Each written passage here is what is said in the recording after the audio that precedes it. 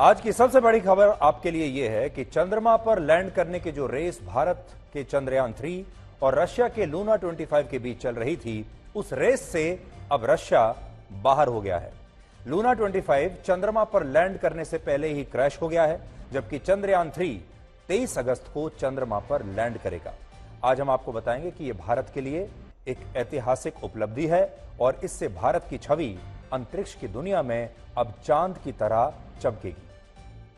लेकिन इस विश्लेषण की शुरुआत हम इन तस्वीरों से करना चाहते हैं, जिनमें चंद्रमा की सतह को आप काफ़ी करीब से देख पाएँगे। ये तस्वीरें चंद्रयान थ्री के जिस कैमरे से खींची गई हैं, उस कैमरे को lander hazard detection and avoidance camera कहते हैं। और ये वही कैमरा है जो चंद्रयान थ्री को चंद्रमा के साउथ पोल पर लैंडिंग साइट का चयन करने में मदद करेगा और उसकी सॉफ्ट लैंडिंग कराएगा। यानी ये चंद्रयान थ्री का एक तरीके से नेविगेशन करेगा। और उसी कैमरे से चंद्रमा की ये ताज़ा तस्वीरें आई हैं, जो आप देख सकते हैं। इसरो का कहना है कि 23 अगस्त को जब चंद्रमा पर सूर्य उदय होगा, तब सूर्य की इन्हीं किरणों के साथ चंद्रयान थ्री भी चंद्रमा पर उतरने का प्रयास करेगा। और यह लैंडिंग 23 अगस्त को शाम छह बजकर चार मिनट पर होगी। इसलिए आप अभी से तारीख नोट कर लीजिए 23 अगस्त शाम को छह बजकर चार मिनट और आप इसका सीधा प्रसारण आज तक पर देख पाएँगे। और इसरो ने कहा है कि वो इस लैंडिंग का लाइव प्रसारण करेगा, जो उस दिन 37 मिनट पहले शाम को पाँच बजकर सैंतीस मिनट पर शुरू हो जाएगा। तो ये इतिहास बनते हुए आप देख सकते हैं, क्योंकि इसरो एक लाइव टेलीकास्ट उसका करने वाला है, और ये आप आज तक पर भी देख पाएँगे। वर्ष उन्नीस सौ उनहत्तर में अमेरिका की स्पेस एजेंसी नासा ने चंद्रमा के लिए अपना पहला मानव मिशन लॉन्च किया था, जिसे अपोलो 11 मिशन कहते हैं। उस समय इस मिशन के तहत नील आर्मस्ट्रॉन्ग चंद्रमा की सतह पर कदम रखने वाले इतिहास में दुनिया के पहले इंसान बने थे और तब इस मिशन को दुनिया भर में टीवी पर पैंसठ करोड़ लोगों ने लाइव देखा था, जो कि एक वर्ल्ड रिकॉर्ड था। सोचिए, पैंसठ करोड़ लोग टीवी पर इसे लाइव देख रहे थे उस समय। और उस समय हुए इस लाइव प्रसारण की कुछ तस्वीरें आज हमने आपके लिए खास तौर पर निकाली हैं। हमारे तो शो का नाम भी ब्लैक एंड व्हाइट है, इसलिए आज आपको इतिहास के ब्लैक एंड व्हाइट में लेकर चलते हैं। और आप देखिए यह है वर्ष उन्नीस सौ उनहत्तर, जब अपोलो 11 चंद्रमा पर लैंड किया था। और उस समय यह नासा का कंट्रोल रूम आपको दिखाई दे रहा है। और पैंसठ करोड़ लोगों ने तब टेलीविज़न पर इस घटना को लाइव देखा था, इसका लाइव प्रसारण लोगों ने देखा था। और ये उसी जमाने की, उन्नीस सौ उनहत्तर की तस्वीरें आज हमने आपके लिए निकाली हैं। हम चाहते हैं कि 23 अगस्त को जब चंद्रयान थ्री की चंद्रमा पर लैंडिंग का लाइव प्रसारण हो रहा होगा तो इस दौरान भारत के तमाम लोग, यानी आप सब लोग भी, टीवी पर, आज तक चैनल पर इस प्रसारण को लाइव ज़रूर देखें। और आप चाहें तो आप भी एक ऐसा ही वर्ल्ड रिकॉर्ड बना सकते हैं। तो उस दिन आप ये लाइव टेलीकास्ट आज तक पर देख सकते हैं, या जो भी आपको प्लेटफॉर्म उपलब्ध है, आप वहाँ देख सकते हैं। और अगर देश के हर नागरिक ने यह लाइव प्रसारण देखा तो यह अपने आप में एक वर्ल्ड रिकॉर्ड बन जाएगा। इस समय जब हम आपको यह खबर दिखा रहे हैं, तब चंद्रयान थ्री की चंद्रमा से सबसे कम दूरी अब लगभग 100 किलोमीटर बची है।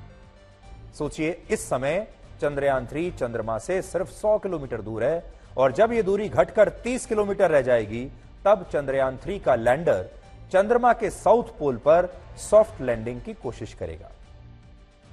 अभी फ़िलहाल ये चंद्रमा की कक्षा में ही चक्कर लगा रहा है, जहाँ चंद्रयान टू के ऑर्बिटर ने चंद्रयान थ्री का स्वागत किया है। तो जो चंद्रयान टू का ऑर्बिटर था, वो अभी भी वही है और उसने ही चंद्रयान टू के ऑर्बिटर ने चंद्रयान थ्री का स्वागत किया है और उसे कहा है वेलकम बडी इसका मतलब होता है, स्वागत है मेरे साथी. चंद्रयान टू का यह ऑर्बिटर चंद्रमा की सतह से 100 किलोमीटर दूर है और चंद्रमा की कक्षा में ही चंद्रयान थ्री और चंद्रयान टू के ऑर्बिटर की यह मुलाकात हुई है। इसरो का कहना है कि अगर लैंडिंग से पहले चंद्रयान टू की तरह चंद्रयान थ्री के सारे सेंसर्स फेल भी हो जाते हैं और इसके लैंडर के भी दोनों इंजन अगर बंद भी हो जाते हैं, तब भी चंद्रयान थ्री चंद्रमा के साउथ पोल पर लैंडिंग करने में सफल हो जाएगा। और इसरो के वैज्ञानिक ये बात इसलिए इतने विश्वास और भरोसे के साथ कह रहे हैं क्योंकि चंद्रयान थ्री को चंद्रयान टू की गलतियों से सीख लेकर डिज़ाइन किया गया है और इसमें बहुत सारे बदलाव किए गए हैं। पिछली बार चंद्रयान टू के प्रोपल्शन मॉड्यूल में खराबी का पता चला था। जो चंद्रमा की सतह से 100 किलोमीटर ऊपर लैंडर और रोवर से अलग होता है। लेकिन पिछली बार इसने लैंडिंग से पहले लैंडर की गति बढ़ा दी थी, जिसकी वजह से चंद्रयान टू चंद्रमा की सतह पर जाकर क्रैश हो गया था। यह सॉफ्ट लैंडिंग नहीं कर पाया था। लेकिन इस बार इसी घटना से सीख लेते हुए कई बड़े बड़े बदलाव किए इसके अलावा जिन पैरों पर चंद्रयान थ्री चंद्रमा की सतह पर उतरेगा, उन पैरों को इस बार कहीं ज़्यादा मज़बूत बनाया गया है और इसके लिए इसरो की टीम ने मौजूदा लैंडर को हेलीकॉप्टर और क्रेन से ऊपर से नीचे गिराकर भी इसको टेस्ट किया ताकि यह पता लगाया जा सके कि अगर लैंडिंग के दौरान ज़्यादा गति से यह लैंडर चंद्रमा की सतह पर अगर उतरता भी है, लैंड भी करता है और हार्ड लैंडिंग भी होती है तो भी वो इस दबाव को और इस शॉक को आसानी से सह पाए। इसी तरह सॉफ्ट लैंडिंग के लिए चंद्रयान थ्री की लैंडिंग वेलोसिटी स्पीड को भी बढ़ा दिया गया है। पहले यह स्पीड दो मीटर पर सेकंड थी, लेकिन अब यह तीन मीटर पर सेकंड कर दी गई है। लैंडिंग वेलोसिटी स्पीड का मतलब यह होता है कि किस गति से कोई ऑब्जेक्ट, कोई वस्तु ऊपर से नीचे आती है। प्राइमरी लैंडिंग में परेशानी आने पर चंद्रयान थ्री को दूसरी साइट पर लैंड कराया जा सके, इसके लिए भी इस अंतरिक्षयान की ईंधन क्षमता को बढ़ा दिया गया यानी अगर एक जगह लैंड नहीं कर पाएगा तो फिर दूसरे साइट को खोजकर वहाँ लैंड करेगा। इसके अलावा ऐसा भी माना जाता है कि चंद्रयान टू के लैंडर में पाँच थ्रस्टर इंजन थे, जिनकी वजह से इसकी सॉफ्ट लैंडिंग में कुछ गड़बड़ी आई थी। इसलिए चंद्रयान थ्री में थ्रस्टर इंजन की संख्या अब घटाकर पाँच से चार कर दी गई है, और जो सेंट्रल थ्रस्टर इंजन था, उसे अब हटा दिया गया है। और यही वजह है कि इसरो इस बार पूरे विश्वास के साथ कह रहा है कि भारत का विक्रम लैंडर इस बार चंद्रमा पर सुरक्षित अपने कदम रखने में कामयाब हो जाएगा। हालाँकि इस लैंडिंग से पहले के 15 मिनट सबसे ज़्यादा महत्वपूर्ण होंगे और इन 15 मिनटों को 15 मिनट्स ऑफ़ टेरर कहते हैं, क्योंकि यह वो समय होता है जब किसी अंतरिक्ष यान की चंद्रमा से दूरी सबसे कम होती है। और इसी दौरान यह अंतरिक्ष यान चंद्रमा की कक्षा से उसकी सतह पर लैंडिंग की कोशिश करता है। पिछली बार इसी प्रक्रिया में इसरो का चंद्रयान टू से संपर्क टूट गया था और 20 अगस्त को रशिया का जो लूना 25 क्रैश हुआ है, उसके साथ भी बिल्कुल यही हुआ था।